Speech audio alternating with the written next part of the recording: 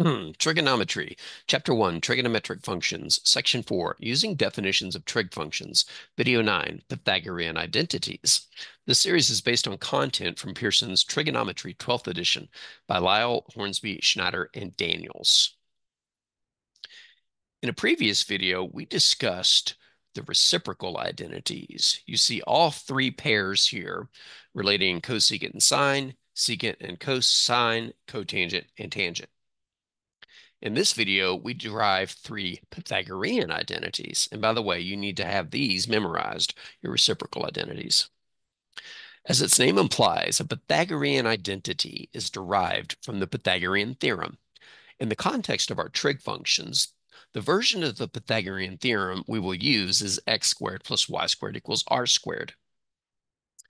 But how can we take this equation and use it to derive trigonometric identities? The answer lies in connecting what we currently know about trig definitions to this equation, specifically these definitions, which have x's, y's, and r's. So let's think about it. How can we get some of these trig functions into this equation? In order to incorporate trig functions into this equation, we need some ratios. We accomplish this by dividing both sides of the equation by the square of any of the three variables. For example, consider both sine and cosine. Notice that their definitions both have a denominator of r. So we will divide both sides of this equation by r squared. That will set up some fractions whose denominator has an r. So let's divide both sides by r squared, and let's go through what would happen. On the left, we can split into two fractions. You can always split a, a fraction into two fractions uh, across a plus or minus in the numerator. So we get x squared over r squared plus y squared over r squared equals r squared over r squared. But notice that this first fraction, x squared over r squared, is just the square of cosine, and y squared over r squared is the square of sine.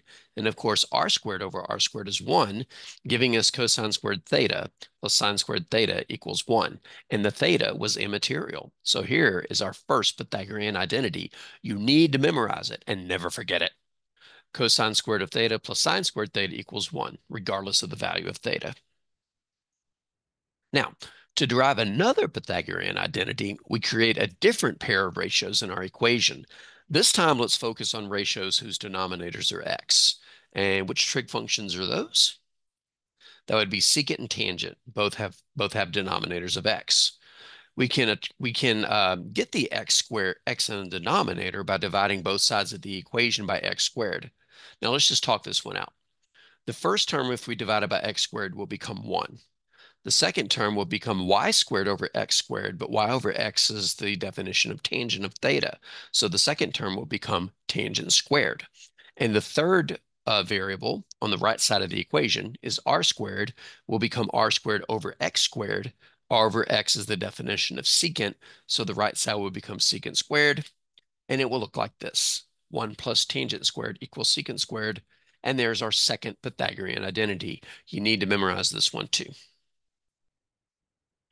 To derive the final Pythagorean identity, we create ratios in our equation whose denominators are y. And which trig functions are those? You got it. Cotangent and cosecant. If we divide both sides by y squared, think about what would happen.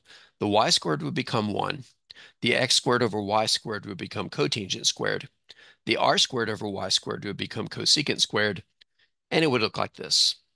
So here's our third and final Pythagorean identity. And you need to memorize it too. Cosine squared, excuse me, cotangent squared of theta plus 1 equals cosine squared of theta. Here are all three Pythagorean identities. I'm not kidding. You need to memorize them. And by the way, because each equation has three terms, there are multiple ways to represent each. For example, you could switch the order on the left. Watch the left side of each equation.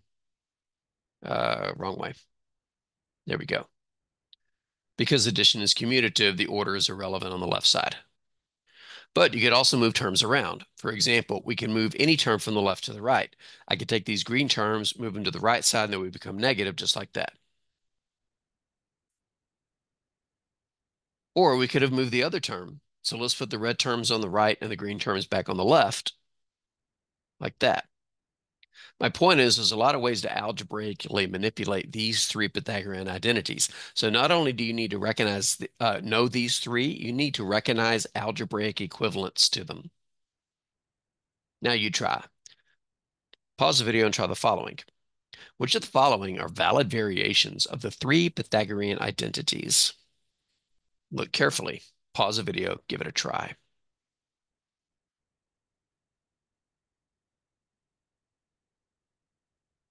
And here's your fair warning if you haven't paused the video yet. Solutions in three, two, one.